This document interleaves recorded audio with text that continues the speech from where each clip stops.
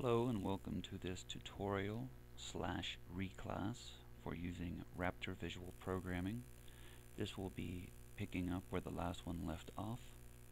We have created a class called Soccer Player and we have instantiated this class. So what I'm going to do is start from scratch as far as all of this extra stuff goes. I'm just going to instantiate the class and that's it.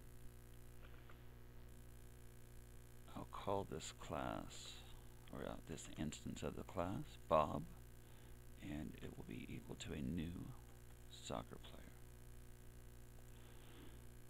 Alright, so what we're looking at today is constructors and methods. So if we go inside of the members uh, dialog. For this class, we see that we have one field of type integer, and we have these other buttons, uh, methods and constructors. So what methods are, are functions that exist inside of a class. So they're actions that a an instance of a class can perform either on fields or properties of itself or of other objects or other instances. So it's things that it can do with data, and it's usually specialized things. So if you want very specific tasks to be done, use methods to do this. Now if we look at Raptor itself, uh, remembering from the basics of Raptor, we know that we put all of our functionality that we want to happen when the program runs inside of main. It's the stuff that happens automatically. If I were to create uh, a method, if I go back to regular Raptor mode, uh, uh the, what, Novice, I think it's called? The Novice mode, excuse me, and I create the subcharts, that's the equivalent of making methods or making functions for a program, but those don't actually get ran until you call them. Alright, so let's give an example here. I'm going to save this one. I'll save this as basic 1 or I'll save it save as file save as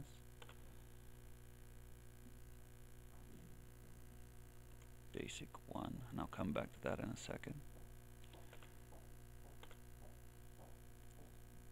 So if I switch my mode to novice and I say okay I'm going to make a subchart and I'll call this my function and inside of my function I can just make an output and it says uh, I don't know hello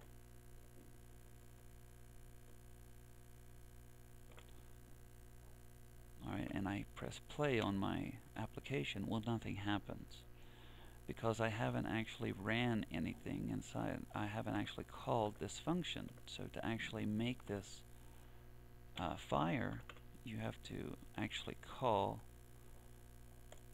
that function. Alright?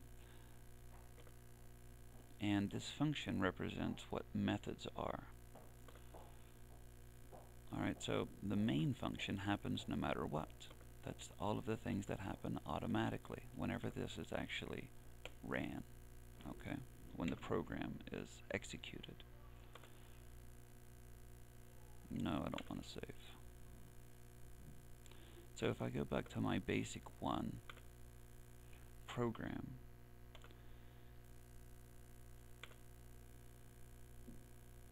and I go and alter my soccer player. The methods will uh, function just like the subchart that I created in that last example. So I can say, for example, I'll call this method kick. I kick the ball. Alright. Now this will only get called if I tell the program to call the method. But the constructor, it too is or functions as a method, but it functions as the main method for any instance of this class. So things that happen automatically will, hap will happen inside of the constructor. The constructor of an instance will always share the same name as the class it belongs to. Alright, so I call the soccer player method essentially, and what it is is it's the class name, the name of the class. So if I'm going to make an instance of the soccer player class called Bob, the constructor for Bob is called soccer player. So if I hit close and go into soccer player, actually this ordering is messed up, so I'll go and change that. Now the functionality will be the exact same, but it might make it a little bit confusing. You should make your constructors first. But that's just convention, it's not a requirement. So if I go into my soccer player class now, I can see that I have a class, or sorry, a method that looks like it's called soccer player. And this is the constructor. Kickball is a method. It doesn't happen unless you actually call it. So I can, inside of my output for kickball, I can say, I have kicked the ball.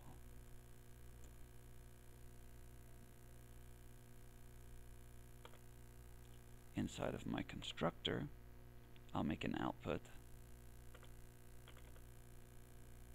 that says I I am ready to get on the field. So anytime a soccer player is created, the first thing that happens is the constructor runs. Okay, so we can go into our main method, hit play, the soccer player gets created, the first thing that happens is he says, I am ready to get on the field.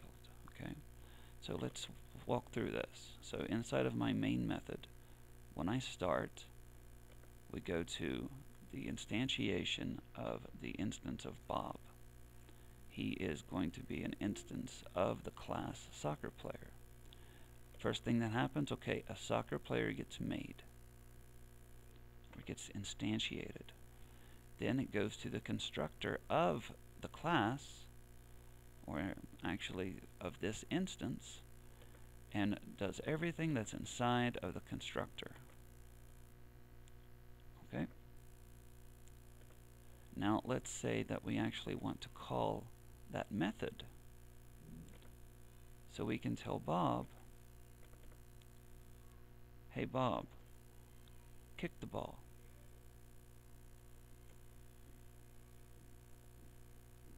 Alright, so now we can walk through this again.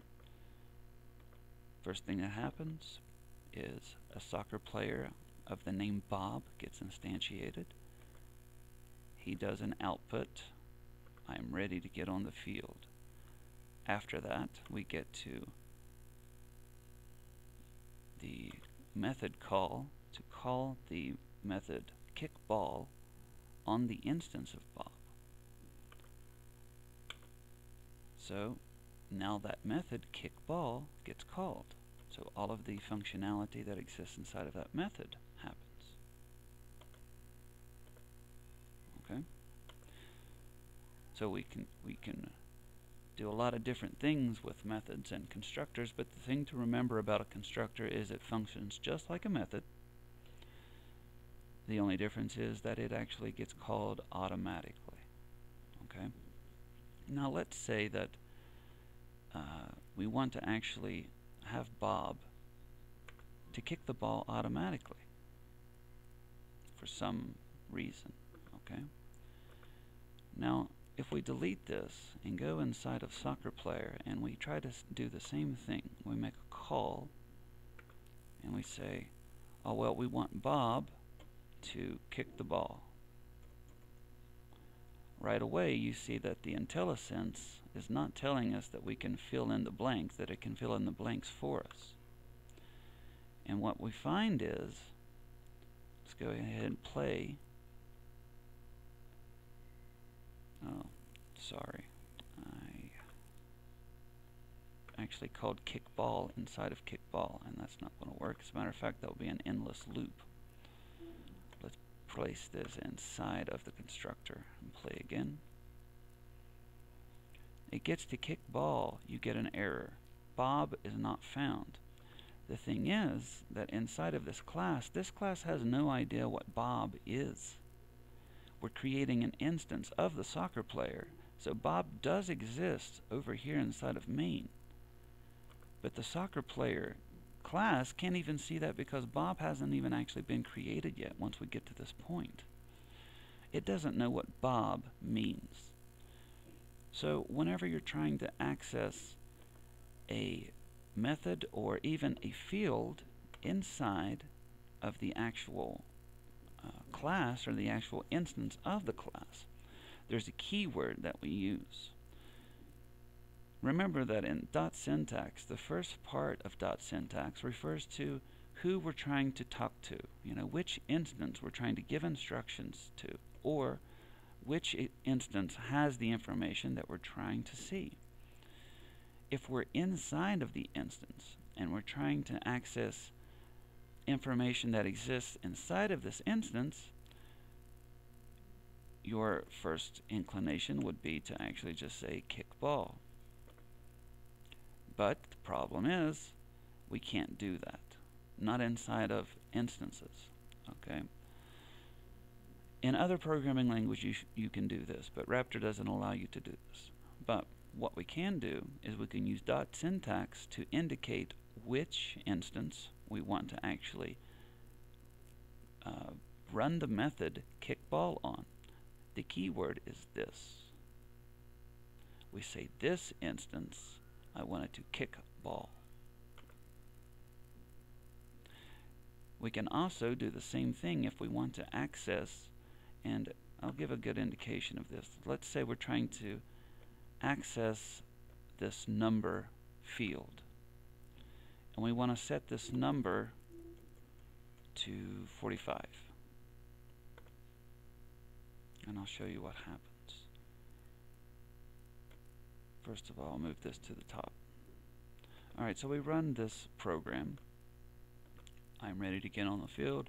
This dot kickball, so it will call the method kickball on this instance. Okay, we output kick the ball. Now we get to, we're going to set number to 45. Now watch what happens. You see that? It didn't set number to 45. What it has actually done is created a local variable called number and set it equal to 45. And once it gets back out of that instance, 45, or that local variable gets destroyed. It's gone. You can't access it anyway. And the reason is because Raptor sets any local variable to be private. So main couldn't see it even if it wanted to. That's the purpose of using these fields. Alright, so let's take a look at what we want to do. We're not actually going to set number equal to 45. We're going to set this dot number to 45. So we're trying to access the field called number, not make a local variable called number. We're trying to access the field number on this instance and set it equal to 45. So we'll step through, get back down to number. Here we can see that number is equal to 0 on this instance. Now we can see that you can actually access this data outside now if you need to. Need to. Alright, so outside of an instance, you access the data with dot with dot notation in from fields and from methods. So if we want to say Bob's dot number equals 33, that's fine. We use dot notation to say which instance we're talking to or we want to read information from, and then what field or method that we want to check out. But if you're inside of the class or inside of the method, rather, you still have to use dot notations, a dot notation to either run a method or to access a field. The difference is that inside we use this dot whatever we're trying to do to access the field or method. Okay? Alright, so that's it for this lesson. In this lesson we saw how to create methods, constructors, the difference between them, and how to uh, access fields and methods from inside of an instance, and the difference between fields and local variables inside of instances. I hope this helped clear up any doubts that you may have had, and have a great day.